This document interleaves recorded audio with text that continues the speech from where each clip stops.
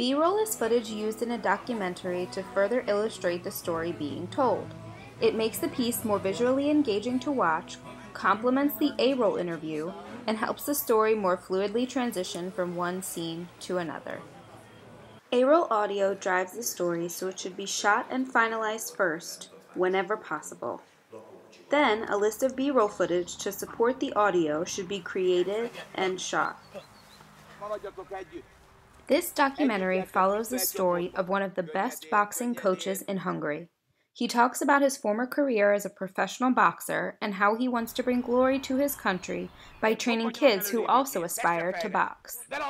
B-roll is essential to transition between scenes. For example, notice how in this clip we transition inside the narrator's home from an outside training scene.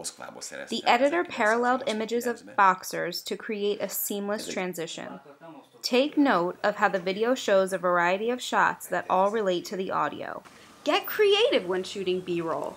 The video should complement the audio. You don't want to match it the entire time. It's important not to think too literally about how to illustrate the story. Find interesting vantage points and angles to support the A-roll. Videographers should always try and create different types of shots. Compose detail, tight, medium, and wide shots for each scene covered. Remember to record each shot for at least 10 seconds to ensure you have enough footage to use when editing your video. B-roll will often include your subject actually doing what they or others talk about in the A-roll, but it also illustrates things that are impossible to shoot literally. In this clip, the boxing coach reminisces about his childhood and early years in boxing. It would be impossible to gather footage from his past, so instead, we supplement by filming him in the neighborhood where he grew up and by using photos to conceptualize his commentary. Create sequences when you film and edit. When editing sequences together on a timeline in post-production, think about using shots that complement one another and help the story transition naturally.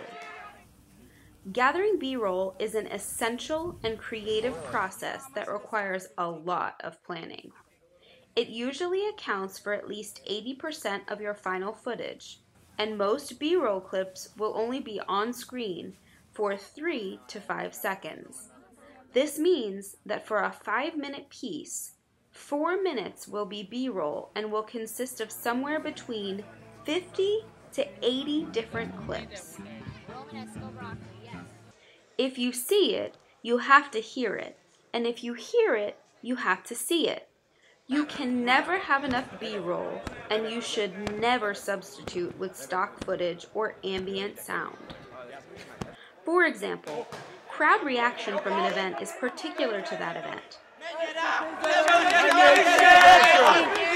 Downloading crowd noise from a sound library is neither ethical nor effective. Both the soundtrack and the video track are a combination of A-roll and B-roll, mm-hmm. so it is just as important to gather ambient audio as it is to gather video B-roll. If you have a two-person team, have an off-camera mic and get as close to the source of audio as possible. If not, use a shotgun microphone mounted on the camera and always wear headphones so you know you are getting the ambient sounds that you need.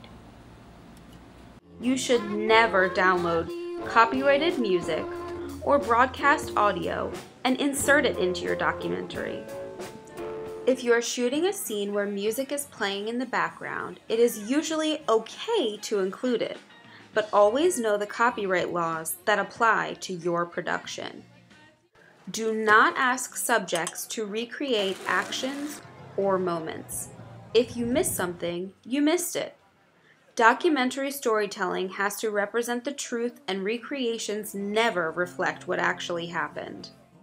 Recreations and animations can be used for historical references, but it has to be obvious that this is the intent.